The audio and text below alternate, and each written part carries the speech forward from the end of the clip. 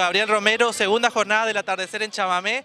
Eh, ¿Qué nos puedes decir de estos espacios paralelos que se vienen realizando eh, a días del inicio de la fiesta? Bueno, primero eh, que es una gran posibilidad que tiene la comunidad de acercarse a esta previa del chamamé que lo estamos haciendo en diferentes lugares. Como ustedes vieron, no hay una gran cantidad de público, el espacio es con entrada libre y gratuita, tenemos la posibilidad de que la gente baile, escuche, eh, también estuvimos en la cárcel, estuvimos en los hospitales, en diferentes lugares de la costanera y, creo que es una manera en la que podemos vivir la fiesta nacional del chamamé de una manera diferente.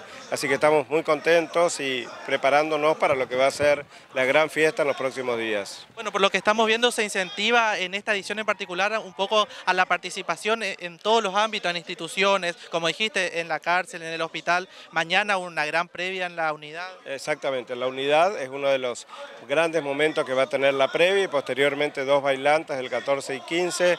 La intención es que la gente se acerque, disfrute y que podamos vivir esto como una gran fiesta para todos. Eh, hay un compromiso del gobierno provincial para que esto sea un evento realmente que, que, integre a la comunidad y eso es lo que estamos logrando. ¿Con qué se va a encontrar la gente a partir de este viernes en el anfiteatro? Bueno, con un anfiteatro que va a tener primero una actividad inaugural con una danza aérea eh, desde una grúa de 30 metros, que va un grupo de danza eh, que ex integrantes de Fuerza Bruta van a participar allí, una llegada de la Virgen como habitualmente hay y con una grilla de artistas muy variada a lo largo de 10 jornadas.